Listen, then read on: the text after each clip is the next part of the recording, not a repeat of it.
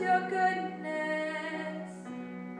We doubt your love as if